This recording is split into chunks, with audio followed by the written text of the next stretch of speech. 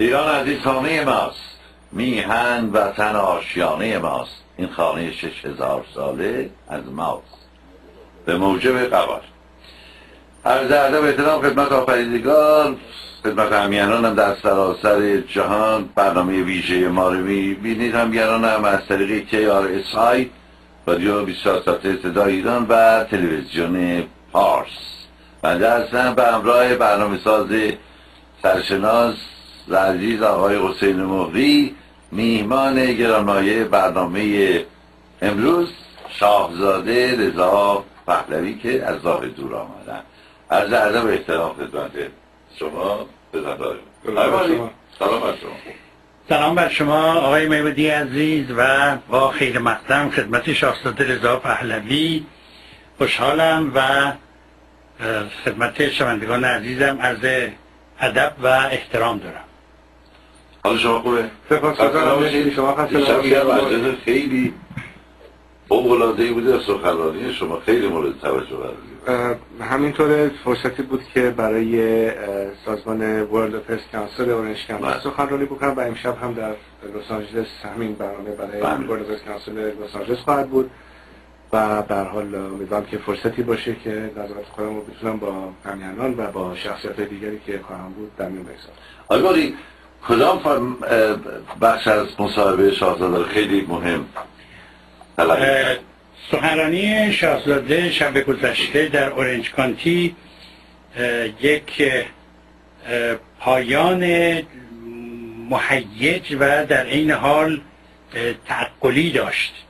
من یک عبارت دو عبارت شو فارسیش رو می‌خونم چون به زبان انگلیسی صحبت کردن. ایشون گفتند که من بار دیگر همیانان ایرانی خودم رو به پذیرش اختلافات با روحیه پلورالیسم و تکسرگرایی و رواداری سعی صدر و همچنین با توجه به آرمان حقوق بشری و سکولاریسم و دموکراسی به عنوان مخرج مشترک فرا می‌خوانم که اینها قبول این, قبول این مخرج مشترک فراتر از تنوعات مذهبی نژادی قومی و شخصی خواهد رفت. این, این خلاصه پیام ایشان است به خصوص در بخش پایانی. و باز هم گفتن که ما تعهد می‌کنیم برویم به جستجوی تغییر سیاسی از گذرگاه شیوه های عدم خشونت جستجوی آشتی ملی عفو ملی برای حرکت به فراسوی اکنون فراسوی وضعیت کنونی. ما باید این وضعیت کنونی اختلافات و تشتت ها و به حال دگرگشت ها رو پشت سر بگذاریم العاده به نظر مثل شاهزاده بیشتر الان از درون کشور دارن الهام می‌گیرن. ارتباط زیادی دارید ها؟ از این تقریبا تا بگم تو این سی سال همیشه این بوده ولی علل خصوص الان یعنی از زمانی که از تابستون پیش واقعا این جریانی که به شکل ملموسی پدیدار شد به معروف به جریان سبز و روحیه واقعی که این جریان داره. اگه درست به عمق مسئله پی برده باشیم نشان دهنده یک تغییر فاحشی در یک ذهنیت نوین سیاسی من احساس می‌کنم خصوص در میون جوانای امروز. و این رو واقعا به عنوان یک پدیده بسیار حیاتی و اساسی در تحولات سیاسی کشورمون بینم یعنی اینطور بهتون میگم به همون اندازه ای که در صدر انقلاب مشروطیت یک جهشی پیدا کرد مملکتمون در راستای ترقی و مدرنیته و به هر حال آغاز یک فصل جدیدی از نظر سیاسی بر کشورمون بود. من فکر می‌کنم که شاید این جریان سبز اگر از اون مهمتر نباشه در همون حد می‌تونه یک یک حرکت بنیادی باشه برای کشورمون و آغاز یک زمینه و پایه نوینی برای کشورمون از جانب سیاسی آینده. و تاکید اصلی درک این حرکت هست از نه تنها ارزش آزادی بلکه بهایی که بایستی برای آزادی پرداخت. دو مسئله همین تکسرگرایی و پرورالیزم که البته من بارها و بارها در طول این سالها بهش اشاره کردم ولی خوشبختانه می‌بینم که امروز در این ذهنیت این رو کاملا می‌توان در داخل ایران دید.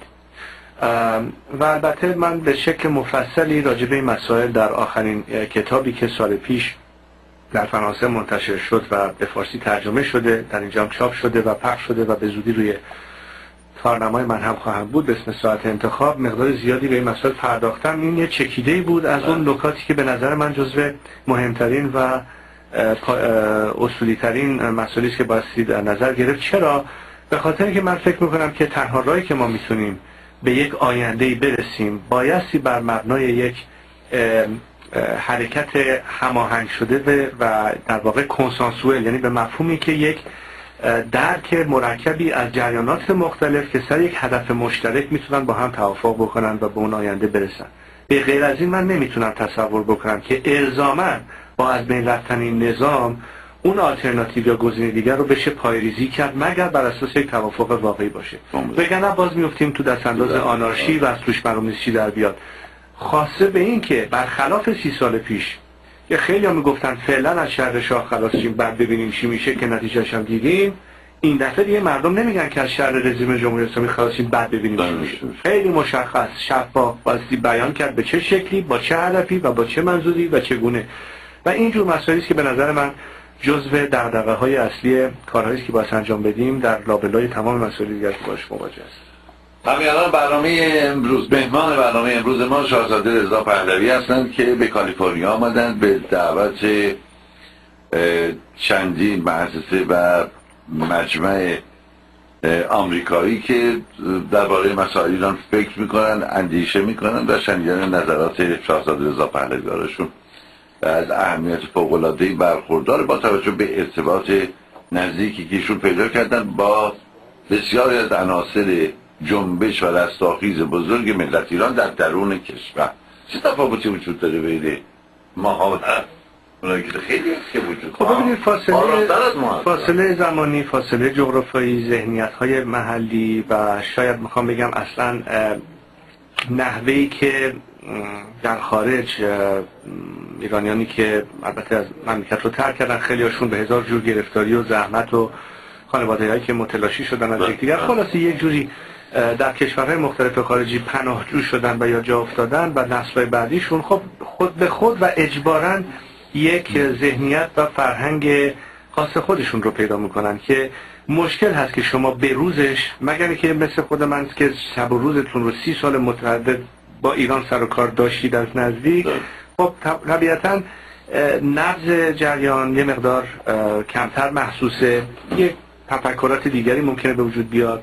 و شاید بشه گفت این اختلاف جغرافیایی یا فاصله خود به خود اون میزون بودن یا رو همون فرکانس بودن یه مقدار مشکل تر می‌کنه. البته هستن ایرانیانی که به دقت مسائل رو دنبال می‌کنن. ولی خب طبیعی است که ما اگه بخوایم مبنای کار رو بر مبنای یک چیزی که در برون مطرح هست بگذاریم از قافله عقبیم. اصل مسئله در داخله. من بارها و بارها شده که میشنوم در بعضی جلسات و بحثایی که با همیهنامون در خارج داریم که صحبت رهبری و تشکل و فلان و این آدم و اون آدم و این حرفا که اغلبشون بیرون نشستن یا اشتباه نکنیم. کسانی که آینده ایران رو به ارث خواهند برد و اراده خواهند اداره خواهند کرد هزاران هزار رهبر مسئول هستند که هیچ کنون ما نمی‌شناسیم و می‌دونیم هستن. و اینا هستن که اونجا خواهند رسید. و از همه مهمتر هیچ کدوم ما امروز این حق رو یا این وکالت رو از جانب مردم نداریم که براشون تصمیم بگیریم. تنها کاری که می‌تونیم بکنیم این هست که شرایط و زمینه انتخابات آزاد در مملکت باشه. میزان را صندوق رأی بگذاریم که بر اساس اون انتخاب مردم نظر اکثریت حفظ و اقلیت قابل انجام باشه. این با تنها می‌تونه در قالب یک نظام دموکراتیک باشه. به اعتقاد من مسئله سکولار بودن این سیستم بسیار مهمه یعنی جدایی کامل دین از حکومت که به نظر یکی از پیش شرط های دموکراسی است. رعایت کامل اعلام جهانی حقوق بشر که امیدوارم یک روزی قانون اساسی آینده کشورمون مبتنی بر اون اعلامیه باشه. مسائل دیگری که دغدغه دیرینه اقوام ما هستش سر مسائل مختلف که به نظر من در قالب یه مقداری عدم تمرکز حکومت مرکزی می‌تونه در نظر گرفته بشه. مسائلی از این قبیل به نظر من جزو یه سری بدیهیاتی است که سر این می‌توان به یک قرارداد اجتماعی جدید رسید به مفهوم اخص کلمه. با حفظ تمام گرایش ها و اون پلورالیسم سیاسی که مملکت ما بوده با حفظ تمام گرایش ها و اون پلورالیسم سیاسی که مملکت ما بوده اصلا از نظر ترکیبش. ما نمی‌تونیم بگیم که یک جامعه داریم که از نظر قومی از نظر مذهبی صده هاست که یک جامعه مرکب بوده اما از نظر سیاسی داره فقط یک فکر باشه نه. ضمن این که من فکر کنم اتفاقا به چالش کشیده شدن نظرهای مختلف سالمه برای جامعه و نه برعکس. در بودن این کنش ها و واکنش ها و بحث هاست که بهترین ایده ها پرورش داده میشه. تفکر نمی‌تونه فقط تفکر راست باشه یا فقط تفکر چپ. همه اینها در جای خودشون جا دارن. خب اگه ما به این مهم رسیده باشیم که قطعا رسیدیم اما سوال بیشتری باشه که چگونه این رو پیاده بکنیم؟ خب به نظر من بحثا بر مبنای که چگونه پیاده کنیمش بکنیم که یا اینکه آیا بکنیم. و اینجاست که میگم این اختلاف فاز رو من بین داخل و خارج می‌بینم. در خارج هنوز اندرخم یک کوچه ای هستن که منگاه سی سال پیش گیر کردن بعضی ها حالا چه چپ چه راست؟ در صورتی که در داخل من این رو دیگه نمی‌بینم. واقعا در و علاقه مشترک همیانان هم دو کلان رسانه رادیو بیشاسته صدا ایران تلویزیون پاس اینجا هم که واقعا انبوه دوستان فیلم برداری که آقای خسروی همینطور عکس برداری آقای میر فخرایی آقای مسعود صد کردن در اینجا تشریف دارن و سبا افسری در برنامه رو کارگردانی می‌کنه راسپینای عزیز در, در اتاق فرمانه و جمعی از دیگر دوستانی که امروز با هم هستن. جناب مهدی؟ خواهش می‌کنم. خواهش می‌کنم. من پرسشی که با شاهزاده دارم این است که با توجه به اون نظر مثبتی که درباره جنبش سبز دارند آیا این درسته که حضور جنبش سبز چه اونجایی که فعاله چه اونجایی که متوقفه و اندکی پسیو می نماید. آیا حضورش خود به خود موجب ریزش های درونی رژیم نشده؟ ما می‌بینیم حتی در همین دو سه هفته اخیر چند هفته اخیر چندین ریزش ایدئولوژیکی در درون خود رژیم رخ داده. مثلا فرض کنید اظهارات و نوشته طولانی آقای مصطفی تاجزاده. یا سخنان آقای کدیور. آقای کدیور نامه نوشته به آقای آقای علی اکبر هاشمی رفسنجانی و از او خواسته که در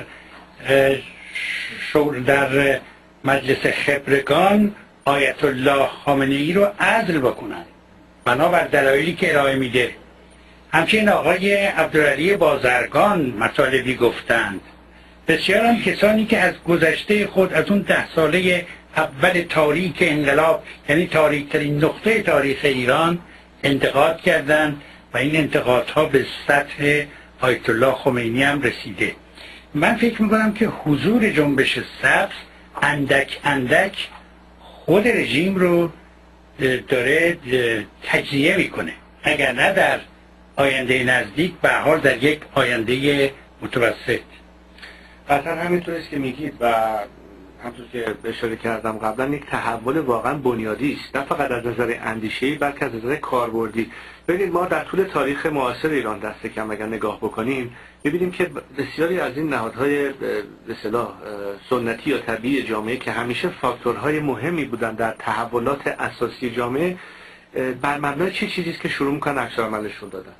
به نظر من این تصادفی نیست که امروز بازار شروع کرده به اعتصاب و اینجور قضایا. این معمولا زمانی است که اون درجه احتراق جامعه به اون حدی رسیده که شامه حتی بازار شروع می‌کنه عکس نشون دادن. اگر این جریان پیش نیفتاده بود فکر نمی‌کنم به مرحله می‌رسیم. مسئله صرفا فشار اقتصادی به تنهایی یا شاید اثر تا حدی تحریم هایی که الان بر ایران هست تنها نیست. یک مسئله است که امروز به درجه واقعا احتراق رسیده و قطعا من فکر کنم اهمیت این جریان این بوده که از یک سو همطور که آقای مهری اشاره کردن ریزش های بیشتری رو در در قالب رژیم باعث شده. بخاطر فکر کنم به حال ماسک رژیم برداشته شده. یعنی به مرحله رسیدیم که شاید بعد از سی سال اعتبار چه مذهبی چه سیاسی رژیم اگه نگیم به کلی از بین رفته ولی بسیار نزدیک به اون حد شده.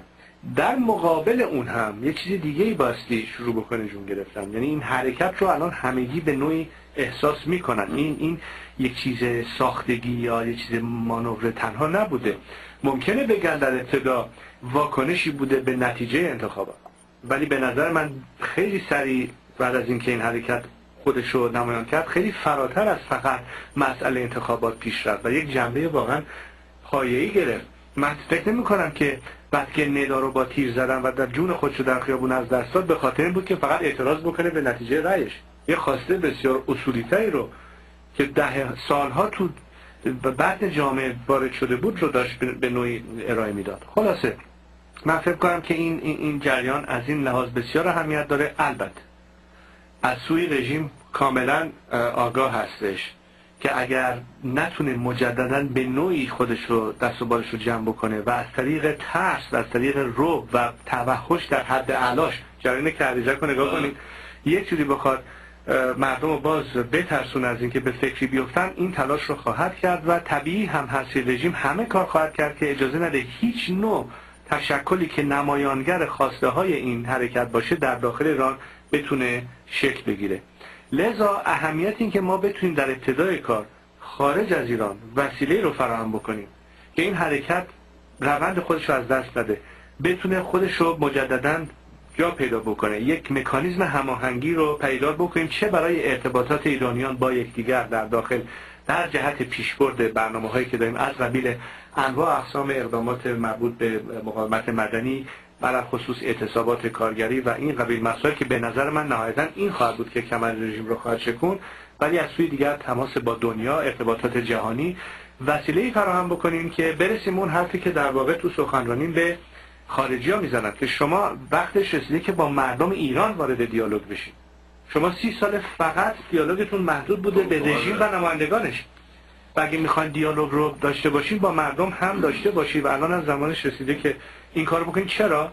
به خاطر اینکه اگر میگیم دیپلماسی به نتیجه نرسیده و سوی دیگر باسی از به هر جوری سعی بکنیم که اجتناب بشه از هر نوع درگیری نظامی تنها راهی که باقی میمونه و در واقع تقویت مردم. اسمش از ولاتین empowerment یعنی قدرتمند کردن مملکت. و, و سیاست تحریم به تنهایی کافی نیست در دراز مدت. شما باید یک عامل فشار درونی بر رژیم رو فراهم بکنید. اگر انتظار دارید که رژیم در رفتارش به صلاح عقب نشینی بکنه چه در ارتباط با مردم خودش چه در ارتباط با جهان. بنابراین تمام نوک پیکان به سمت یک راه حل موجود و معقول باقی میمونه که هم هزینهش کمتره و هم مشروطره در مقایسه با هر سناریوی دیگر. دوباره می‌کنیم برنامه رو همیانان با تشکر از مهندس سامان وسیلی در تلویزیون پاس و آنجا تشکر می‌کنم. همچنان آقای شهرام امیر شرفتی در رادیو 24 ساعت دنبال می‌کنیم برنامه رو با شاهزاده رضا پهلوی هستیم و آقای حسین مغری برنامه ساز رادیو 24 ساعت صدای ایران. آقای ماهی چیزی من توجه کردم که این چهار پنج مصاحبه که با شاهزاده داشتیم در این سالها برقی با خود شما بوده ایشون تقریبا با اینکه نمانده سلطنت و پادشاهی به هیچ دیگه اسمی نمیادن یعنی از خواست خودشون گذاشتن. که اهمیت داره سرنوشت ایرانه. و من نمی‌دونم دیگه وقتی که اینقدر شو هستن چی میگن؟ چی می‌خوان دیگه واقعا؟ موندم من. من یه مصاحبه خوندم از شاهزاده رضا پهلوی با اشپیگل. حتما شما بله بله بله, بله. در اونجا در همون ابتدا از ایشون روی جلد بله از ایشون بله. پرسش می‌کنن که شما رو چه بنامید؟ علا حضرت والا حضرت رضا پهلوی. ایشون مثل همیشه گفتن نام مهم نیست مهم مزامین است که من بیان می‌کنم. مهم این است که من چه می‌گویم و در جامعه ایرانی چگونه باستاب پیدا می‌کنه. و خب دیدم دیروز آقای خویی مصاحبه داشت با یکی از دوستان ما در رادیو صدای ایران. اسماعیل خویی. بله صحبت می‌کرد درباره به حال روشنرایی شاهزاده و خردمندی ایشون و پیشنهاد می‌کرد که در پی فروریزی رژیم من حاضرم به ایشون به عنوان رئیس جمهوری ایران و بعد رو بری به حال من چپم بله شنیدیم در شاهزاده هم چپم تفاصیل آدم از سلطنت بگذره و خیلیه. ولی به حال خیلی مهمه. و من دیگه واقعا البته از سلطنت نگذشتن. نه یعنی- واگذار میدن به مردم. بله به واگذار به این که مردم برن پای صندوق رای تکلیف رو روشن کنن. هر تصمیم هم که مردم گرفتن خب مورد تایید همگی است و ایشون بارها گفته مورد تایید هم اما موندم که پس مهارجویی باز برای چیه اجازه می‌دید من یه نکته بگم صحبت. بسیار مهمی است برای که یه مقدار تدقیق بشه که اولا تحریف بشه حرف من و انگیزه منو درست صحبت.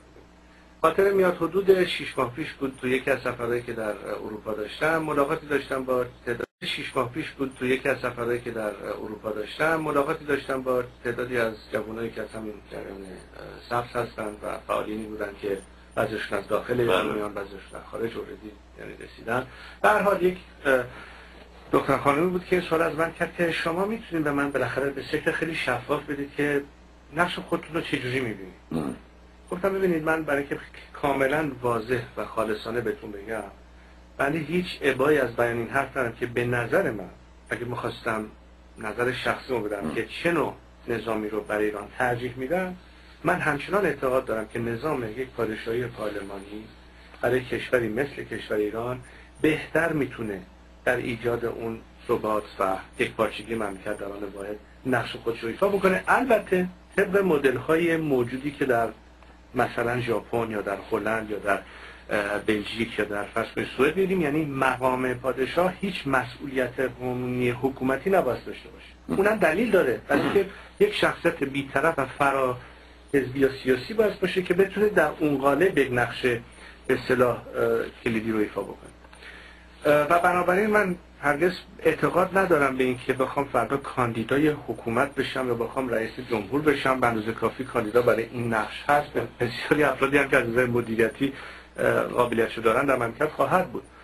ولی ضمناً هم گفتم که اگر فردا در اکثریت مردم ایران به نظام جمهوری رای دادن من به 90 درصد خواستم رسیدم.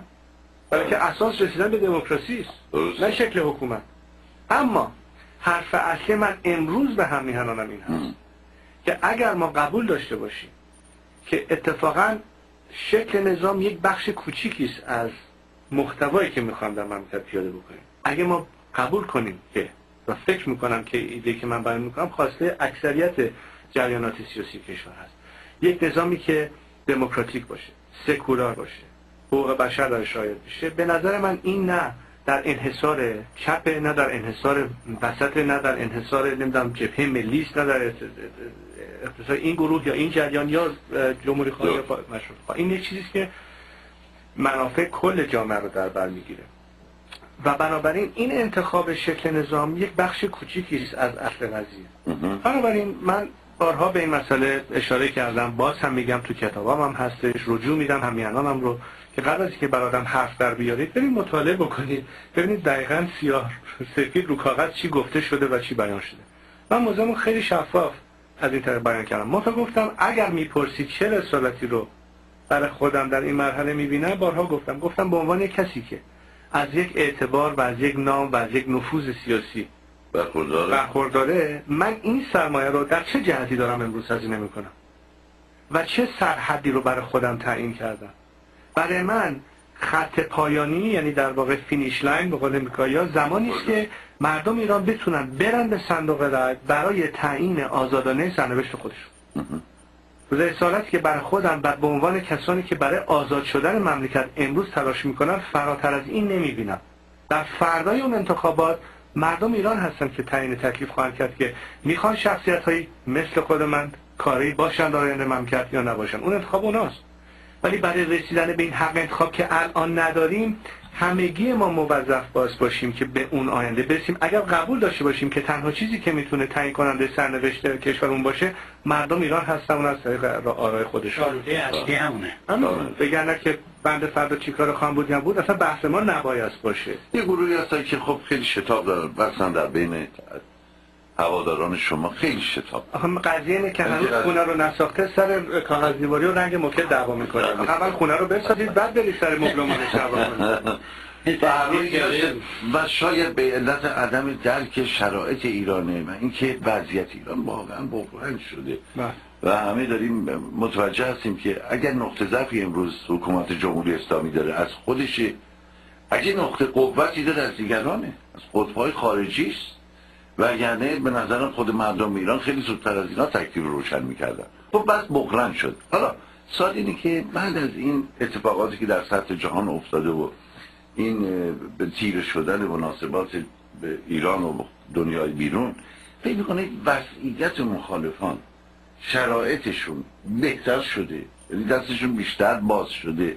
نه اینکه نه کماکان ما برامون مدار صابره در داخل مملکت شما نه اینجا به داخل. فرقی دیگه نمی‌کنه برای ببینید همه گونهش هست. اگر بپرسید که ما در خارج از مملکت از دید و از منظر ساختارهای موجودی که به عناوین مختلف در این سالها تشکلهای سیاسی یا به صلاح سازمانی بودند چه درصدی از اینها هماهنگ هستن با این خواسته؟ از نظر ذهنی شاید بیشترشون هستن. ولی از دید ابزاری و عملی هنوز مشهود نیست. حالا گیر کار در کجاست؟ بس گیر دارن. گیر دارن. و اون گیر بیشتر برمیگرده به یک فرهنگ سنتی خودمون که یکی از گرفتاری های ماست به نظر من. بالا این هستش که ببینید من یه قیاس خیلی ساده بکنم. تو همین مملکت که زندگی می‌کنیم حتما دوستان توجه کردیم که وقتی یک شخصیتی حالا چه سیاسی چه هنرپیشه چه یک اشتباهی بکنه یا یه حرف غلطی بزنه یا به هر دلیلی پشیمون باشه از عملش و میاد و طلب پوزش می‌کنه. و اصلا میگن apologize. و اگه طرف به قول معروف طلب بخشش کرد بعد میگن باری کلا که آدمی هستی که لاقل پی بردی به اشتباهت یا اعتراف کردی و از ما معذرت خواستی همه هم خب بسیار خب. شده.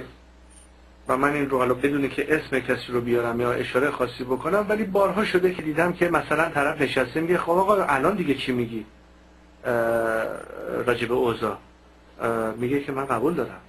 ولی آخر عمری بیام حرفمو که سی سال زدم عوض بکنم چهل سال زدم عوض کنم پنج کسر آبروز در میان هم به اصطلاح فکران خودم. ببینید ما هنوز تو فرهنگی هستیم که اعتراف به اینکه تغییر نظر دادم یا تغییر عقیده دادم یا اشتباه کردم به عنوان یک بار منفی است. این تفکر رو با ذهنیت قلبی عوض کنید که اونجا اعتراف به اینکه من نظرم رو تغییر دادم یا خودم رو تصحیح کردم یک مسئله مثبته. ما هنوز از فرهنگی هستیم که اعتراف اون چیز منفی است. خب وقتی اینجوری هست چطور می‌خوان که این از قالب های فکری یا ایدئولوژیک خودشون در بیان؟ تو تمام گرایش ها میگم. از راست راست و چپ چپش. من نمیگم چپ بودم بده. من نمیگم راست بودم بده. اما نه به فکر فرم دوگماتیک غیر انعطاف پذیری که همچنان همه چیز بر مبنای یک نوع شاید گرایی. یعنی می‌خوام بگم شهامت در بیان بایستی به وجود بیاد. نیست در نسل امروز خوشبختانه و در داخل. اینا هست. ولی اون نسل پیشینتر نمی‌تونه بالاخره این کوله بار و اضافه باری که یدک کشیده نیم قرن و بذاره کنار به فکر این آینده باشه. و فراموش کردن اغلب این افراد که به هر حال اگر قرار باشه تصمیم گرفته بشه و کار دست کسی بیفته دست کسانی خواهد افتاد که الان تو خیابون ایران دارن مبارزه می‌کنن. این جوونا هستن. دیگه برای این جوونا نمیشه تومار بست. برای اینا نمیشه نسخه پیچید. برای اینا نمیشه به صورت آمرانه یا به صورت قیمومیت حرفی زد. نه. و زیر باره این نمیرم.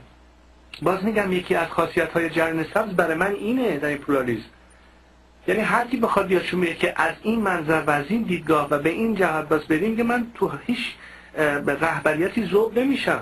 زیر بار این نمیرم. من می‌خوام اون در واقع چطور بگم؟ اون استقلال خودم را در آن واحد حفظ بکنم. ماریست که از ریسمان سیاسفید ناگزیده است که از ریسمان سیاسفید میترسه به اصطلاح خودمون. یعنی می‌خوام بگم این رو این تفکر رو این طرز برخورد رو این شفافیت در بیان رو این اعتراف به و این لازمه. این اولین شرط ایجاد یک فرهنگ تولرانس یک فرهنگ پرالیزمه ما نمی‌تونیم فقط شعار بدیم. ولی در. به محض اینکه یک کسی یه حرفی خرف شما بزنید به شکل دیکتاتور معابی قرق کنیم و بزنیم کنار و نیایم و بایکات کنیم و فوش بدیم و این نمیشه. آقای موری با تیک های مختلف صحبت می‌کنن از چپ چپ تا راست راست. خب این جایگاه شاهزاده الان توی در بین همه تیف ها چون من همه احترام می‌ذارم و الان کجاست؟ فرض کرده بهتر شده وضعشون مسلمه همونجوری که از زبان آقای خویی هم شنیدیم و حال در میان کسانی که من باشون مصاحبه می‌کنم اون احترام به دیدگاه های شاهزاده به عنوان یک انسان دموکرات. تکسرخواه و بدون تعصب های سیاسی رایج این احترام ایشون هر روز رو به افزایشه آره. بنابراین جایگاه محتر- محکمتر شده بله نسبت به گذشته. و به خیلی از تردیدها از بین رفته. بله. بنابراین تکلیف پای صندوق های رأی روشن میشه نه ما. آه؟ خب در این با برسیم به اون به پای اون صندوق ها اون راه. مهمه. این تنها راه اه، نجات مملکت هست و, ت- و اینجاست که اشتراک کاربازی داشته باشیم. برای که ما می‌دونیم در نتیجه اختلاف نظر هست. ولی در نحوه رسیدن به فرصت تعیین و نتیجه یک راه بیشتر نیست. اگه بخوایم به دست ایرانی و به دست مردم ایران سرنوشت ایران تعیین بشه نه یک قدرت خارجی نه یک تهاجم درست. نظامی نه یک کودتای درونی نه یک تهاجم درست. نظامی نه یک کودتای درونی یه مشکلی که امروز این رستاخیز سخت پیدا کرده این مدعیان بیشمار که همه خودشون صاحب این رستاخیز معرفی می‌کنن به نظرم رستاخیز یک به صلاح یک مالکیت کالکتیو داره دست جمعی داره. همه مردم ایران رهبران این جنبشن. و این جنبش بارها اثبات کرد منتظر کسی نمیمونه که دستور بگیره. هر وقت لازم بود عمل مشترک کرده. هر وقت لازم بود علا رقم دعوتی ازش کردن تو خونه مونده. اتاقه نمیان بیرون. یا الان میان بیرون. خودم. و خب و این اتفاقاتی که بعدا در بازار افتاده و اینا به نظرم مهمه. نظر خود شما چیه؟ آیا من نظر شما رو بعد می‌خوام. من فکر کنم تقریبا در این مورد بیشتر کسانی که مسئله ایران رو دنبال می‌کنن تفسیر می‌کنن آنالیز می‌کنن برداشت می‌کنن و بسیارشون هم با خود من در تماس هستم با هم تبادل نظر می‌کنیم در این موارد. قطعا نشون دهنده این هستش که آن چیزی که امروز خروج کرده از نظر یک یک به صلاح نمایش خواستهای واقعی جامعه کاملا محسوسه یعنی کاملا ملموس شده. این چیزی نیست که بگیم اتفاقی بوده یا موضعی بوده یا فرض بکنید محدود بوده فقط به یک خواست محدود سنفی یا سیاسی. شاید بشه گفتش که این یک فرصت طلایی بوده برای اینکه جامعه بتونه بریزه بیرون و حرف آخرش رو شروع کنه به زدن. حالا درسته که بعضی ممکنه بگن که هنوز شعارهای به اصطلاح سیاسی کاملا مشخص بیان نشده. مقدار زیادیش هم البته به خاطر جو ایران هست. کسی که نمیاد بیاد. اه، شما اصلا زیر نظام رو امروز توی مملکت زیر سوال ببرید به عنوان محاربه با خدا در- جا اعدامتون می‌کنن. شما امروز تو مملکت مثلا فرض کنید به عنوان کسی که طرفدار نظام پادشاهی هستید اصلا حکم اعدام داره. اصلا می‌تونید زبون باز بکنید که اظهار نظر بکنید. و من همیشه گفتم برای هر کسی که ادعای اینو می‌کنه که می‌دونه مردم ایران چی میگن میگم که آقا من اولین کسی هستم که بهتون میگم که من ادعا نمی‌کنم که می‌دونم مردم ایران چی می‌خوان. چرا؟ بلکه در نبود فضای باز سیاسی امکان مناظره آزاد که نباشه افکار عمومی رو نمیشه نوان سنجید. زمانی می‌تونیم واقعا افکار عمومی رو بسنجیم که امکان این مناظره و بحث آزاد باشه. بعد شما بتونیم فردا بریم در ایران از پشت پodium حرفمون رو آزاده و مردم ایران بتونیم بزنید. آنان هم دستان به ما نزنن برن زندان ایوی آخه تو اون شرایط پیش نیاد هر کسی می‌تونه ادعای بکنه آقا راه ما درسته نظر ما درسته بقیه بی خود میگن این دشمن این خانه این بساطه. نه آقا اینطوری نیست. مطمئنا مطمئنا می‌دونیم که در آینده ایران تفکرهای مختلف سلیقه‌ای و سیاسی هست بود و باید هم باشه. و باید. طبیعی هم هست که باشه. دقیقا درست. مهم برای ما این هست که ما چگونه می‌تونیم پایه رو توی مملکت بریزیم که اساس مدنیت اساس قانون عدالت تمام مسائلی که جز مهمترین مسائل هست چیزهای بنیادی رو من دارم میگم. به همین دلیله که مثلا علاقه به جنگ به سر قدرت حکومتی اصلا دارم اون بقیه بکنم. من به اساس مملکت به پایه های اصلی که فکر می‌کنم. که چگونه اون رو میشه نهادینه کرد. برای اینکه دموکراسی توی مملکتی نهادینه بشه فقط این نیست که شما انتخابات داشته باشید. فقط این نیست که قانون اساسی داشته باشید. فقط این نیست که یک پارلمان داشته باشید. فقط این نیست که مثلا یک بخش غذایی و مجریه و مقننه داشته باشید. جامعه مدنی باید داشته باشید طبقه متوسط باید داشته باشه باشید آموزش و پرورش درست باید داشته باشید نظام بهداشتی صحیح باید داشته باشید. خیلی مسائل هست. اینا فقط در حیطه کار یک دولت نیست که سرش می‌خواین دعوا کنید که کدوم حزب برنده میشه. اونا جزء بدیهیات خیلی مسائل دیگر هم هست. خب اینها رو باید به همه اینا پرداخت و اینجاست که باید تشریک مسایی بشه اینجا که اینجاست که باید کارها تقسیم بشه. یه عده کارهای اندیشه‌ای و پژوهشی بکنن یه عده کارهای سازماندهی بکنن یه عده کارهای الان در, در بخش کارگری ببینید ما هنوز نمی‌تونیم یک یک سندیکای درست آزاد کارگری داشته باشیم تو مملکت که بتونه به دغدغه‌هاشون بپردازه. مثلا اینا دیگه جزء ابتدایی ترین مسائله. اینا رو با نهادینه بکنیم برای کار خیلی زیاده. در ابعاد مختلف. دعوای اصلی ما سر چیه در این مرحله؟ اون رو بگم بچسبیم که چگونه میشه به این آینده رسید؟ چگونه میشه پایریزیش کرد؟ من هیچ نگرانی از ساختارهای روبنایی در آینده ایران ندارم. سیر طبیعی خودش رو طی خواهد کرد. یک پروسسوس دموکراتیک هم تعیین کننده نتیجه خواهد بود. اما اون اصول رو باز چسبید. چه چیزی است که جوامع رو در جهت ترقی واقعی می‌بره؟ در جهت مدرنیته می‌بره. اون چه چیزی است که و این رو من تو تجربه شخصی خودم باتون بیان می‌کنم تو این به حال سی سالی که دور دنیا رو چرخیدم کشورهای مختلف فرهنگهای مختلف یک چیزی برای من کاملا محسوس و ملموس و مستطره.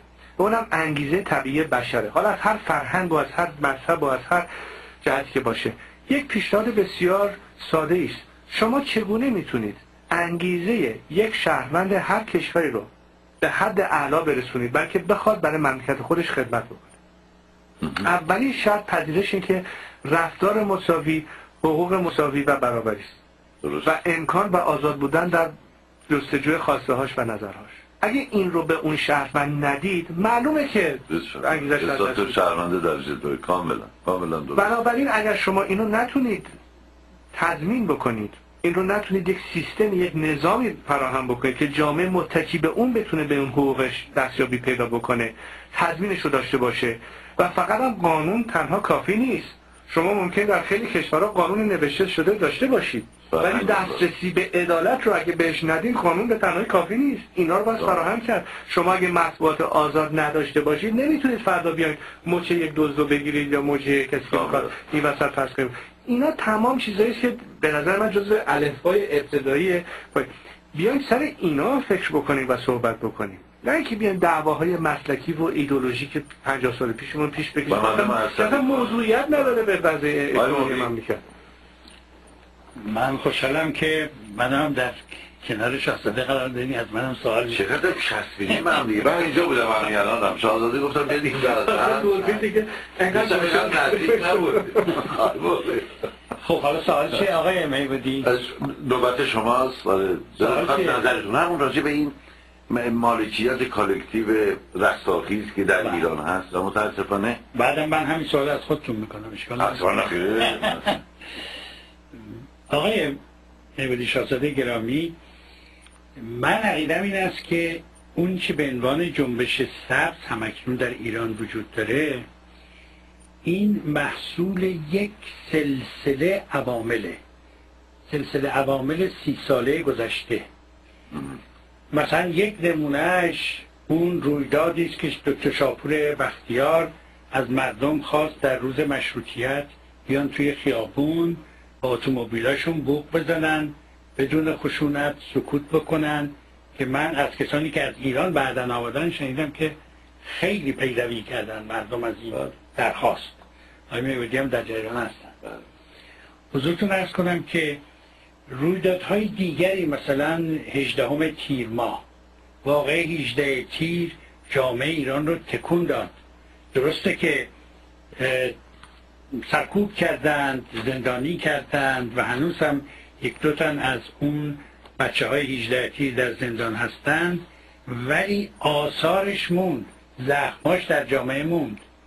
پیشنهاد رفراندوم با اینکه بسیار بحثانگیز شد. بسیار بسیار. خطش خود شما رو شاید زیر سوال بردن بسیاری. اتفاقا خوبه که راجع موضوع صحبت کنیم. بله ولی اون هم تأثیر داشت.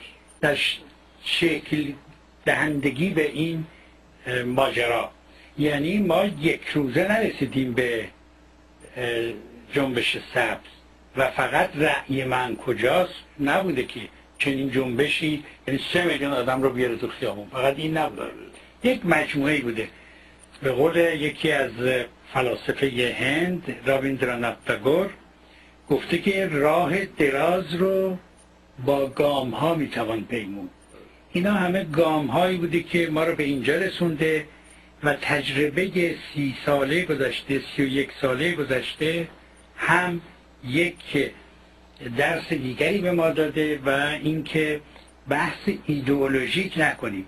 اون چه مهمه در یک جامعه آزادی است سکولاریسم است و اینکه همه بتوانند اظهار نظر بکنند و همه آهاد جامعه در برابر قانون یکسان باشند.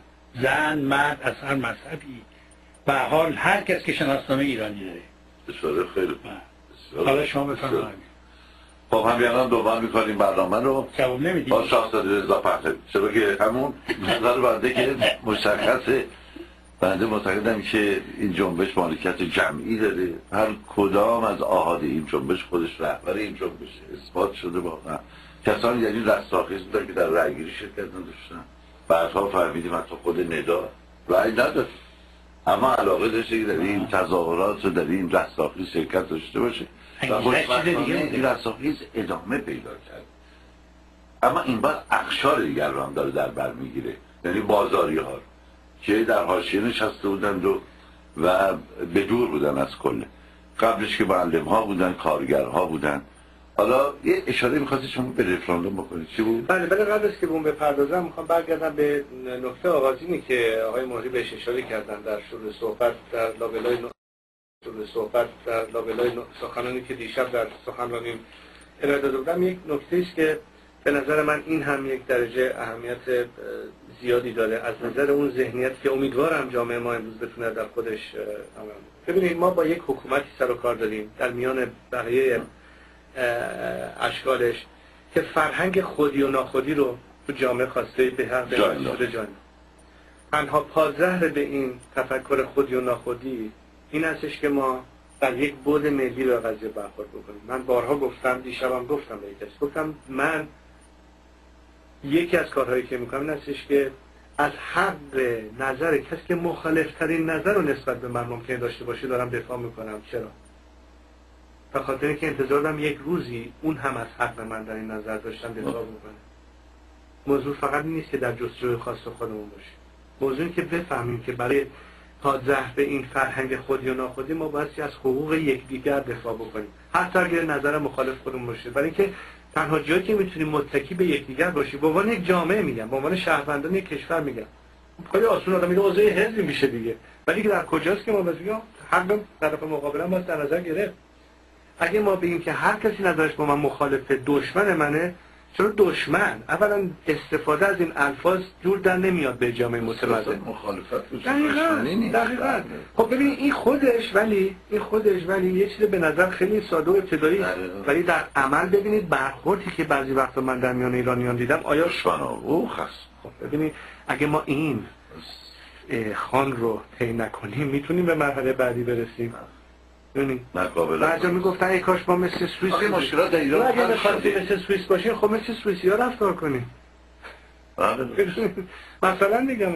خب اما در مورد نکته رفراندوم ببینید شاید نمی‌دونم اگر جا داشته باشه آن ولی شاید یه مقداری بد نباشه. من لاغت سناریوی که بخوام اگه قرار من سناریوی این داستان رو بنویسم به شکلی بیان می‌کردم.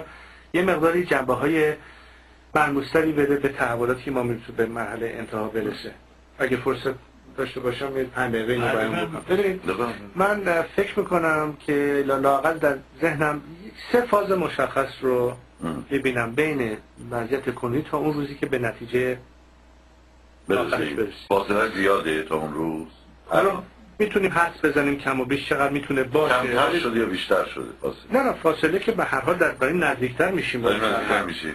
منتها می‌خوام فازبندیش رو بیان بکنم مقدار شاید تعریفش بد نباشه چون بسیار. لاقل من نمیگم تمام حرفمون که درست باشه ولی لاقل یه- بحث سازنده تایی رو می‌تونه حتما که همش رتوریک نباشه داستان. ببینید من سه تا فاز می‌بینم. یک فازی که اکنون درش هستیم یعنی فاز مبارزه برای سرنگونی این نظام به مفهوم که دیگه نظام موجودیت خارجی نداشته باشه. چون اجبارا ما بایستی در ماورای نظام به نتیجه که می‌خوایم برسیم. این نظام انتخابات آزاد نخواهد گذاشت. این نظام فرصت این که ما بتونیم صندوق رأی باقی داشته باشیم. عملا نداده. ببینید چیکار کرده توی آخر بله، درست. پس ما اجبارا بخوایم به اون فضای باز سیاسی برسیم با موجودیت این رژیم نخواهد برسیم. این رژیم بایستی به هر حال از بین بره. من وقتی میگم سرنگون رژیم از طریق نافرمانی مدنی است از طریق فلج شدن و فروریزی از درون خود این رژیم نه سناریوهای تهاجمی و کودتایی و حمله خارجی از این برنامه. خب این فاز مبارزه است که الان همگی درش هستیم.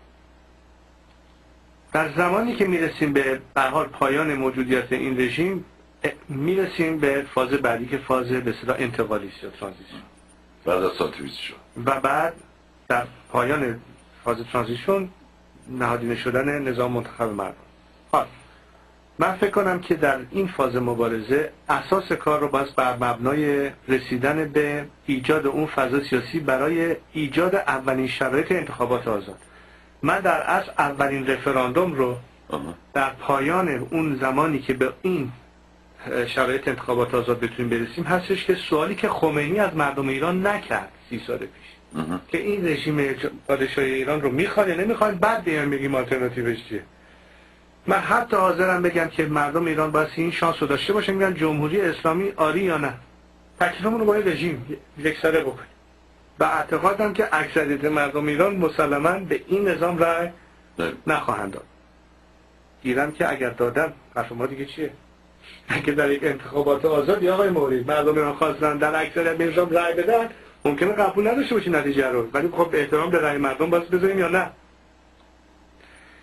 ولی من معتقدم که اکثریت مردم به این رژیم رأی نخواهند داد. بنابراین طبیعی است که در این پریود در واقع ترانزیشن یک حکومت موقتی برای اداره امور موقت کشور باید شکل بگیره و یه مأموریت دو مأموریت داره. یکی اداره امور کشور یکی ایجاد هرچه سریعتر شرایط انتخابات مجلس مؤسسانی که خواهد پرداخت به تنظیم قانون اساسی آینده کشور به بحث گذاشتن تمام جوانبش و نهایتا حتی بحث شکل نظام و پیشنهاد یک شکل نظام و قانونش و نهایتا اون هم در یک رفراندوم دوم برای تثبیتش توسط مردم ایران به رأی عمومی گذاشته بشه. و فاز نهایی حالا برمیگم فاز نهاییش هم طبیعتا وقتی که شکل نظام نوع نظام قانون جدید وضع شد شرایط انتخابات برای اولین مجلس دموکراتیک حکومت دموکراتیک بعدی و انتخابات حزبی برای تشکیل اولین دولت حکومت جدید هاست.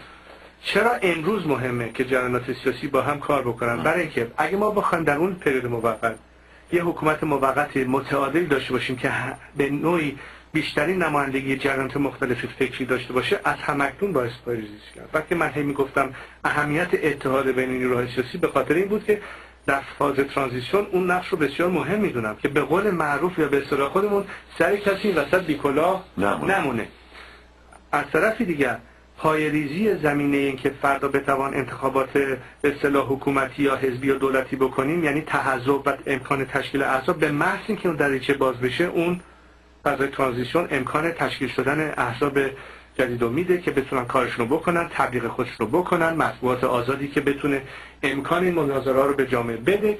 و به عبارت دیگر جامعه ایران این بار در شفافیت کامل با آگاهی کامل با دنبال کردن تمام این روندهای ترقی بتونه نظر خودش رو نهایتا بده. نه پشت درای بسته و یهو غافلگیر تمام اینا برمیگرده که از همکنون چگونه اینا رو میشه پیش بینی کرد و برنامه ریزی کرد. به هر حال این البته من باز میگم این یه پیشنهاد نحوه برخورد با چگونه احتمالا این سناریو رو می‌تونیم به نتیجه بله.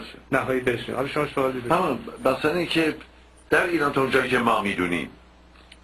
تا اونجایی که ما می‌دونیم همیشه نتیجه انتخابات یا نتیجه رفراندوم هر چی بستگی به این داشته چه کسی یا چه کسانی یا هویت عوامل اجرایی بوده؟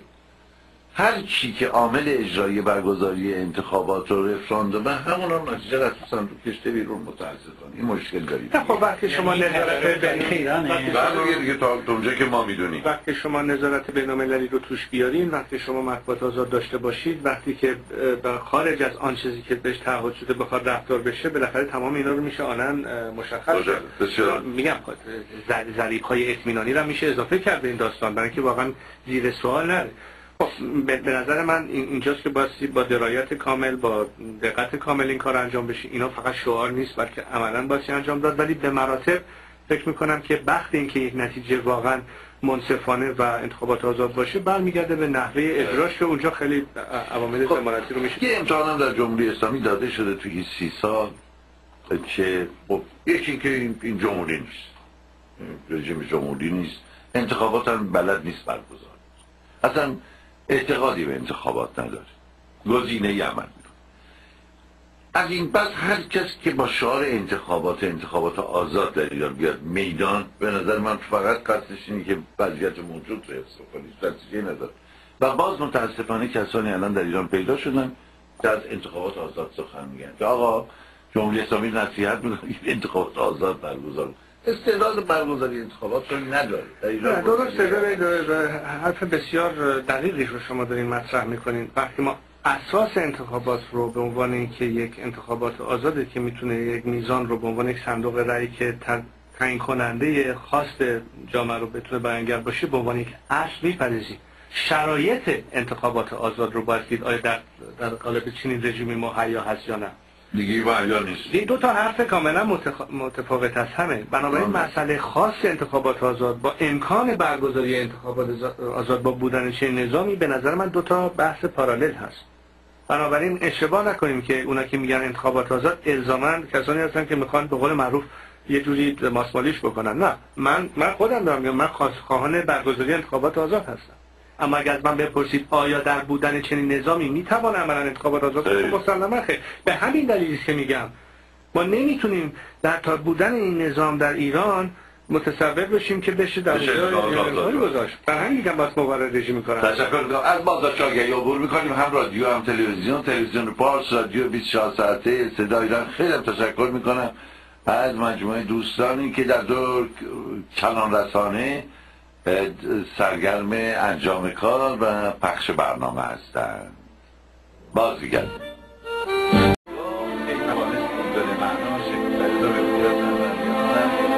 در استودیو رادیو 24 ساعته صدای ایران برنامه مشترک دو کلان رسانه تلویزیون پارس رادیو 24 ساعته صدای ایران. همین لحظات پیش خبردار شدیم که تلویزیون آریامه هم سرگرم پخش این برنامه زنده است. خب تشکر می‌کنیم. از تمامی کسانی که کمک می‌کنن به رله این برنامه در سراسر جهان از جمله در کانادا در اسکاندیناوی و در استرالیا. الاعمال به نیات از بله. خب شاهزاده رضا پهلوی بحث رو درباره همین صندوق و صندوق رای مضاف بر اینکه سارا خانم هم الان زنگ زدن گفتم من با آقای ماریانی ما خیلی بدون انرژی هستیم خیلی پیرمردانه عمل می‌کنیم. شما پر از انرژی. و خیلی جوانانه و قرار شد که ما انرژی داشته باشن. من ایشون اومده برای به ما انرژی بدن خیلی ممنونیم ازشون. خیلی ممنون. ولی به هر حال دیدم که بلافاصله مسئله رأی و اینها که مطرح شد سوء تفاهم ایجاد شده. همینان تاکید می‌کنیم که جمهوری اسلامی استعداد برگزاری انتخابات انتخابات آزاد رو نداره. از این پس هر کس دوباره تکیه کرد به صفت جمهوری برای جمهوری اسلامی. یا برگزاری انتخابات آزاد به نظرم داره آب در آور می‌کنه و تکرار یک ماجرایی که الان سی سال بی خود ادامه پیدا کرد. نه. خب آی مغری نوبه شما. من یه ولی با انرژی آی مغری دیگه.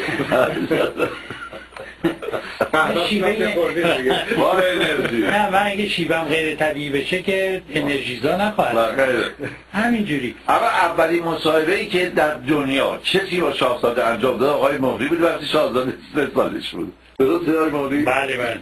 کجا بود؟ من که یادم نه. ایشون یادشون نیست ولی کجا بود؟ در کاخ محل اقامتشون بود در مقابل کاخ مرمر. آه خب. مرحوم مسعودی مدیر اطلاعات. اطلاعات منو صدا کردن آقای ارونقی سردبیر مجله اطلاعات هفتگی رو و گفتن که آقای موری رو بفرستین برای یک مصاحبه با شاهزاده رضا پهلوی. چون موقع شهرت داده بودن شاهزاده نمیشه حرف بزنن. بله لالن بله. گفتن لالا اینها من فرستاده بودن که من فرستاده بودن که این شایعه رو خونسا کنم. من و عجوب کلانتری عکاس معروف حتما اسمش رو شنیدی؟ بله. بله من و ایوب رفتیم و یه دو سه ساعتی اونجا بودیم تو اتاق بازی ایشون. البته با وسایلشون بازی می‌کردن؟ حرفم می‌زدن. نه. یه پرستار فرانسوی داشتن. شهبانو هم گاهی میابدن تو می‌رفتن بله، اینا. بله، بله. و ایوب هم مشغول عکسبرداری بود و اینا. منم صحبت می‌کردم باشون. و طالبی می‌گفت یادم نیست چی پرسیدم و چی. ولی همچین که آمدیم از در کاخ بریم بیرون یک افسری به ما نزدیک شد تا نمی‌دونم چه درجه ای داشت چون من درجه ها رو نمی‌شناسم. گفت آقا بده؟ کاغذهای منو یاد داشتم. یاد داشتم گرفت از منو. گفت شما حق نداشتین چیزی بنویسین عجب. فقط بعد صحبت می‌کرد آه صحبت. آره. وقتی. وارد شما رو گشتن؟ نه. نه بابا. جالبه. کجا بگردم؟ وقتی چون ولیعهد مملکت نه ما با شهبانو هم که سفر می‌کردیم ما رو, نمی... ما رو نمیگشتن. فقط مسئولان امنیتی می‌گفتن که مواظب باشین توی چمدوناتون کسی چیزی نداشته باشه. آه یعنی. اینجوری به آدم هشدار می‌دادن. برسات من رفتم اطلاعات هفتگی اون چه گذشته بود در اتاق شاهزاده این رو نوشتم آها. و ایوب هم عکسش رو آورد و چاپ شد. ولی اون کاغذها هیچ به ما ندادن نه. با اینکه آقای مسئولی هم دخالت کردن. ولی خودتون رفتی نوشتی دیگه. آره یه چیزایی یادم بود نوشتم آها نوشتی رو. نوشتی و اولین مثلا شما خودت چند رو توی شهر بگردین؟ زیاد شده بود. تک و تنها. خب بالاخره همراهی داشتم و شده در در دست محافظا؟ از خودشون بپرسی یعنی که خیلی تعریف کردن در رفتن. نه. واقعا من دوست داشتم این کارو ببینم واقعا مسئله چیه خب، خب این دورانی بود که متاسفانه مسئله بالاخره سوء قصری که پدرم شده بود. یک سری جریانات سیاسی بودن که خب یک تهدیدایی می‌کردن. به حال شرایط دهه های به اصطلاح 60 رو به بعد یه ذره بحرانشتر می‌کرد مسائل رو. اما این این نمی‌شد که جلوگیری بکنه از اینکه بتونم جا به جا بشم نه فقط در تهران بلکه در مناطق مختلف و خیلی پیش می اومد که به صورت همطور ناشناس را می افتادیم به شکل خیلی جای داستان اتفاقا تو کتابم گفتم یه جا. براتون تعریف کنم شاید بارمک باشه برای شنوندگانی که آگاهی نداشته باشن خاطرم میاد در شمال بودیم. زمان تعطیلات تابستان بود و معمولا نوشهر میموندیم و یه روزی سوار شدیم با دو تا جیپ به اصطلاح ارتشی بریم منطقه کلاردشت رو یه چرخی بزنیم و. یا. و چیا بودی؟ خودم بودم و خواهرم و برادرم و یک دو تا از دوستامون و یک دو نفر که به اصطلاح اسکورت ما بودن و رفتیم یه ماشین به اصطلاح اسکورت هم از محافظین هم بودن تازه هم ماشین ها عوض شده بود و این زمانی بوده کرایسلر های قدیم بود. که مثل که آها. مرسدس بود و چی بود کار ندارم. وقتی رفته بودیم منطقه چرخ بودیم چند تا از اهالی محل متوجه شده بودن که ولیعهد اومده. خلاصه در راه برگشت عده از به اصطلاح اه، کشاورزانی که داشتن تو منطقه کار می‌کردن اومده بودن کنار خیابون که ماشین رد میشه مثلا یه آه، آه. اظهار اه، چیز بکنن. که یادم میاد یکی از کسانی که اه، همراه من بودن گفتن که آقا اینا که هستن یه دستی تکون بده و جواب سلام شد. با- من خب نشسته بودم اونجا با پیرن کوتاه و شورت و اینا تو جیپ جلویی می‌رفتیم. خواهرم نشسته بغلم و بردم پشت سر رو دست اونم تکون دادیم. دیدیم نامش که محلی نداشت. بعد چند ثانیه بعدیم هورا سود درد آقا چی شده؟ مرسدس داشت همیشه بابا ولی حتما تو ماشین مرسدس خلاصه شروع کرد برای مرسدس کپ زدن یکی از داستانایی که. و یا مثلا می‌رفتیم نگاه پشت چراغ قرمز نگاهی می‌کرد دوباره نگاه خودتی گفتم؟ آره خودم میروندم یا که مثلا آسانسور می‌رفتیم بالا می‌گفت کسی که این پسر شما عجیب شبیه ولی من راست از این داستان زیاد بود. خیلی ممنون. بریم به سراغ مسائل جدی و تاسفانه. هیچ وقت نمی‌شد. با دل خوش بنشینه راحت بر سر مسائلی از این دست صحبت کن و خاطرات گذشته. شاهزاده رضا پهلوی ایران وضعیت خطیری پیدا کرده. خیلی خیلی خیلی خطیر. الان بیش از هر زمان دیگری با صحبت از تجزیه با صحبت از جنگ. حتی کسانی در آمریکا جز جناه کفترها بودن. امروز همه رفتن جز جناه بازها. یعنی همه صحبت از جنگ می‌کنن دیگه کسی نیست که معتقد باشه آقا بدون استفاده از عملیات قهرامیز بشه به چای دست نظرتون چیه؟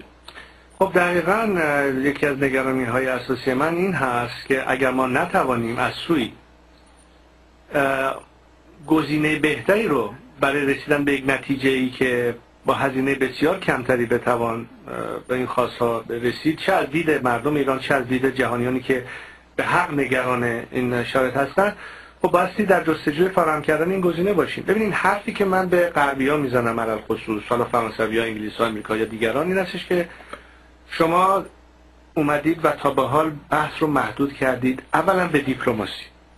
دیپلماسی که لایتناهی باشه بدون اینکه در نگرفتن یک پاسخی حاضر باشید قدم دیگری بردارید خب یه بلوفی است که رژیم هم بلوف رو می‌خونه و تا تهش هم کش میده و عجب و تا تهش هم کش میده و از یه وقت تو کابل گیر کردین از اون وقت تو بغداد گیر کردین اونا با کشون میشنن اونجا پولم دارن خرج می‌کنن.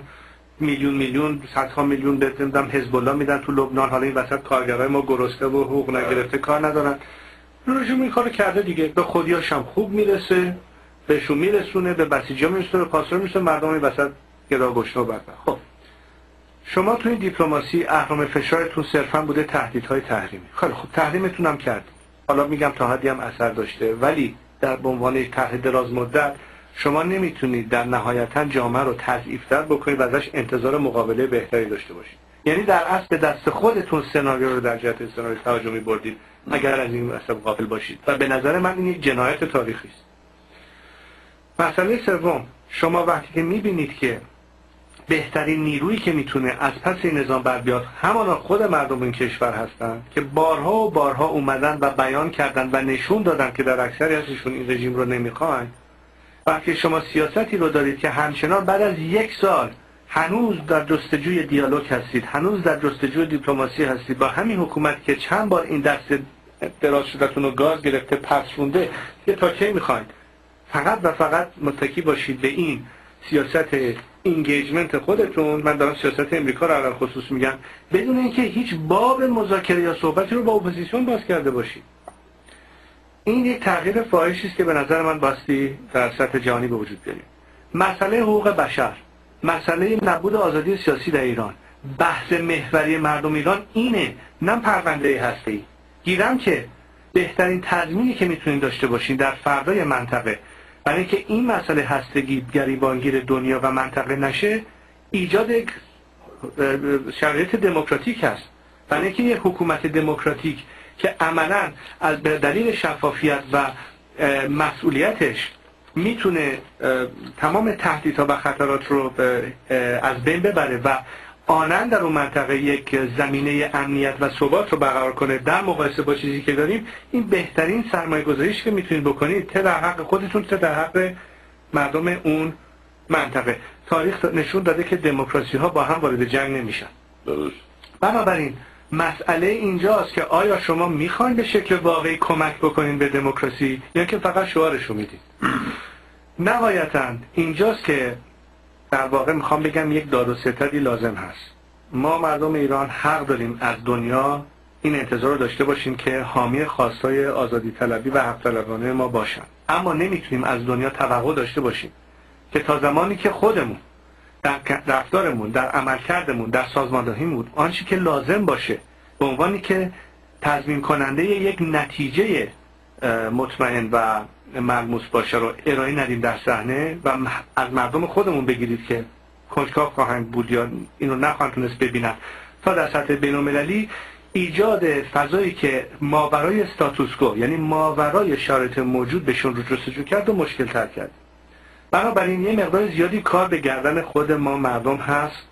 البته گیر کار ما در اصل از دید من اینجاست که چون به خاطر شرط اقتناقی که وجود داره و سرکوب های شدید رژیم. برای اجازه ندادن به اینکه کوچکترین تشکل اعتراضی سیاسی در داخل ایران بتونه شکل بگیره به نظر میاد که اجبارا ما باستی اولین هسته این کار رو در خارج از مملکت مهیا بکنیم. برای حمایت از این جریانات داخلی و برای هماهنگی بهتر در زمین سازی یک مقابله وسیع در سطح مملکت که نهایتا به نظر من باید بکشه کار به اعتصابات وسیع کارگری که اونجاست که واقعا فلجی کامل رو میشه به این رژیم تحمیل کرد. اون عامله که کمر رژیم رو خواهد شکست نه الزاما ازدیاد تحریم های اقتصادی خارجی به ایران. بنابراین بایستی یک باب تقویت دست مردم ایران هم جز محاسبات. حالا چه دیپلماتیک چه سیاسی چه اقتصادی کشورهایی که در ایران امروز دارن مقابله می‌کنن با حکومت موجود به میان بیاد. و الا من نگران این هستم که در نبود این شما فقط روی محاسبه یک سناریوی انفجاری دارید عمل می‌کنید. یعنی به این امید هستید که در ایران یک انفجار پیش بیاد. و این انفجار منجر خواهد شد به شرایط آنارشیک و معمولا در شرایط آنارشیک سناریوهای قهرامیز خیلی بیشتر پیش میاد تا سناریوهای غیر قهرامیز و معمولا هم به نتیجه دموکراتیک نمی‌رسی کاملا درست. اینجاست که من به قضیه چسبیدم. شما اگه می‌خوان یه نتیجه دموکراتیک بعضی خوب توجه کرده باشم به نتیجه شاهزاده گفتم به بسیار ولی چی نکات بدی این با در سخنان شاهزاده کشف کردی که متفاوت باشه با برنامه گفتم نکاتی بودش که ترجمهش رو عرض کردم خدمتتون در ابتدا. یعنی در حقیقت ایشون میگن که من همیهنانم رو دعوت می‌کنم که زیر چتر دموکراسی و کسرتگرایی و حقوق بشر بگذرند از همه اختلافات و تنوعات نژادی قومی مذهبی ایدئولوژیک. همه اینا رو کنار بگذارن. اون چه مهمه آزادی خواهی و دموکراسی خواهیه. حالا من یه سوالی هم دارم از شاهزاده و اون اینست که توی یک سخنرانیشون زیر عنوان از خدا سالاری تا مردم سالاری به نقل از دکتر مارتین لوتر کینگ گفتن که در پایان راه ما گفته های دشمنانمان را فراموش خواهیم کرد ولی سکوت دوستانمان را به خاطر خواهیم سپرد. مایه بودم که شاهزاده بفرمایید که مخاطب کی بوده؟ همین دولت های غربی. بله مخاطب در واقع جهانیانی هستند که اگر می‌خوان به دنبال ادعاشون در عمل نشون بدن که به شکل واقعی خواهان در واقع یک نوع سولیداریته یا یک نوع اتحاد با مردم ایران در جستجوی حقشون به آزادی و دموکراسی فقط با یک بیان مسئله حل نمیشه. مقصود مارتین لوترکینگ در عمل فکر می‌کنم این بوده. که در زمانی که مسئله civil rights movement تو امریکا بود خب خیلی ها به قول معروف جستشو می‌گرفتن ولی در آره. عمل ترتیب اثر نمی‌دادن و اینجاست که من فکر کنم خیلی از اعتراضی که بارها بارها شده از همین بچه که از داخل ایران فرار می‌کنن میان بیرون فعال بودن گرفتار شدن فرار کردن ژورنالیست بودن وبلاگ نویس بودن نمی‌دونم در فرض بکنید ستاد انتخاباتی این و یا اون افراد سیاسی شرکت داشتن به حال البته خیلی من جنبندی دارم می‌کنم حرف مشترکشون بود که آقا تمام این ادعا رو میشیندیم ولی در عمل چیزی رو احساس نمی‌کردیم که پشت سر این حرفها اقدامی بشه. دو تا اعتراض می‌کردن به گرفتار شدن یک فرض کنید زندانی سیاسی یه اشاره کوچیکی می‌کرد بعدم باز دوباره فراموش می‌شد می‌رفت. الان شما بس بدونید که چه, تعدادی هستن. در داخل مرکز به عناوین مختلف و اون مادری که می‌خوان سنگسار بکنن از یک و وضعیت فرض کنید آقای آیت الله بورجردی در زندان.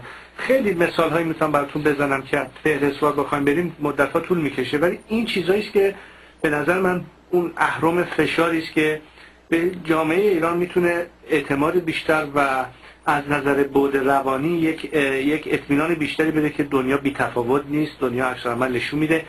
و انتظار و اینجاست که من سعی می‌کنم این رو بیشتر جا بندازم در ذهنیت کشورهای به خصوص غربی و دولتاشون که درسته که برای شما مسئله هسته مهمه و مطرح هست. اما بدونید که بحث محوری ما مسئله آزادی است مسئله حقوق و نبود آن. مسئله اتمی نیست. به قول یکی از این به اصطلاح خواننده های یک گروه زیرزمینی رپ می‌گفتن اینا به ما قول کیک زرد میدن ما نون نداریم بخوریم. می‌دونید بله. اینا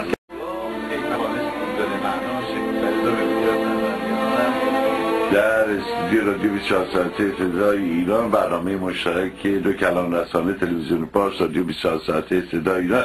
همین لحظات پیش خبردار شدیم که تلویزیون آریامه هم سرگرم پخش این برنامه زنده است.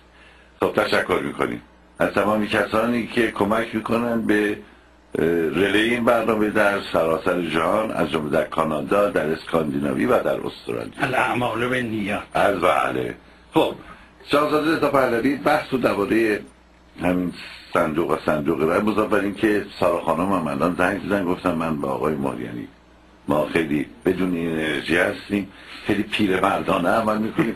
شما پر از انرژی و خیلی جوانانه. واقعیت که ما انرژی داشته باشن. ایشون اومده برای به ما انرژی بدن خیلی ممنونیم ازشون. خیلی ممنون. ولی به هر حال دیدم که بلافاصله مسئله رأی اینها که مطرح شد سوء تفاهم ایجاد شده. همیانان تاکید می‌کنیم که جمهوری اسلامی استعداد برگزاری انتخابات انتخابات آزاد رو نداره. از این پس هر کس دوباره تکیه کرد به صفت جمهوری برای جمهوری اسلامی یا برگزاری انتخابات آزاد به نظرم داره آب در آور می‌کنه و تکرار یک ماجرایی که الان سی سال بی خود ادامه پیدا کرد. خب آی باری به شما. من یه من با انرژی آی باری دیگه.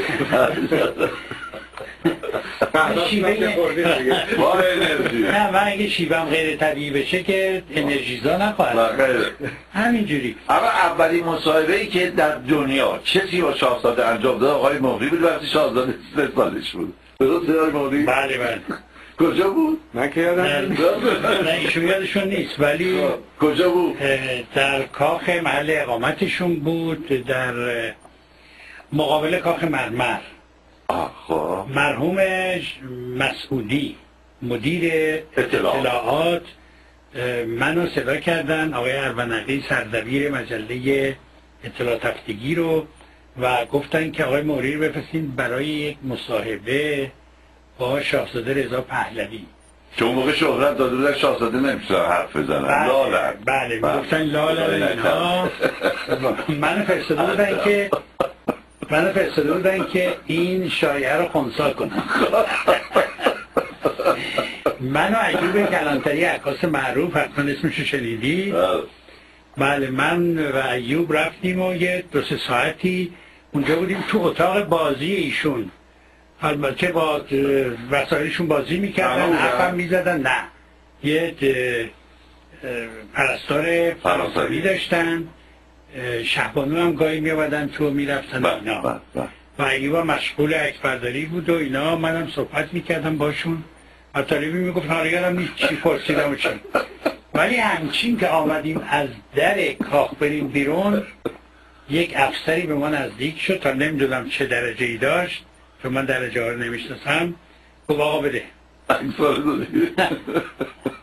کاغذهای من یاد داشتم یاد داشتم گرفت از منو گفت شما حق نداشتین چیزی بنویسیم فقط بعد صحبت می‌کرد آه صحبت. آره. وقتی وارد شما رو گشتن؟ نه نه با شالبه؟ کجا بگردم؟ وقتی چون وحی عهد مملکت نه ما با شهبانو هم که سفر می‌کردیم. ما رو نمیگشتن. فقط مسئولان امنیتی می‌گفتن که مواظب باشین توی چمدوناتون کسی چیزی نداشته باشه. آه یعنی اینجوری به آدم هشدار می‌دادن. بعد من رفتم اطلاع تفتگی اون چه گذشته بود در اتاق شاهزاده این رو نوشتم و ایوب هم عکسش رو و چاپ شد. ولی اون کاغذها هیچ وقت به ما ندادن. با اینکه آقای مسئولی هم دخالت کردن. ولی خودتون رفتی نوشتی دیگه. آره یه چیزایی یادم بود نوشتم دیگه. آها نوشتی رو. نوشتی و اولی مثلا شما خودت چند میری توی شهر بگردین؟ زیاد شده بود. تک تنها. خب بالاخره همراهی داشتم و شده دردی از دست محافظا؟ خودشون بپرسید. یعنی که خیلی تعریف کردن در رفتن. نه. واقعا من دوست داشتم این کارو.